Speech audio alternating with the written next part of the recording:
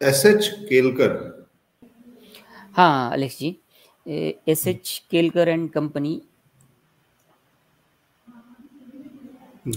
वो वॉल्यूम कम है तो मैं समझ सकता हूँ कि थोड़ा आपको दिक्कत हाँ, वाली हो सकती वॉल्यूम कम है। इस चार्ट ने पाँच दिसंबर को अपना पिछला रेंज बहुत अच्छी तरीके से तोड़ा है। एक 140 के ऊपर ब्रेकआउट जैसे दिया है स्टॉक ने। स्टॉक अभी थोड़ा सा कंसोलिडेशन फ़ेज़ में ऐसा हम कह सकते हैं इसके अंदर। मेन दिक्कत वॉल्यूम्स की है, इसकी वजह से हम ज़्यादा लॉन्ग टर्म एनालिसिस तो इसका नहीं बता सकते लेकिन अगर पहले से कोई इसके अंदर होल्ड कर रहा है तो अलेक्स जी, इसको हम लगभग एक 154 के टारगेट्स तक होल्ड कर सकते हैं। With the stop loss of closing basis of 140 140 के नीचे अगर ये क्लोजिंग डेली बेसिस पे होता हुआ दिखाई देता है तो पहले से जिसने होल्ड किया है वो एग्जिट हो सकता है। और अगर इसको एक सौ चौपन, पचपन के लेवल की तरफ़ जाते हुए देखते हैं तो वहाँ पे प्रॉफिट बुकिंग करना अच्छा होगा।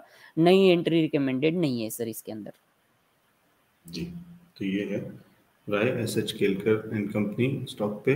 बता दिया बहुत अच्छे से, अतुल जी ने।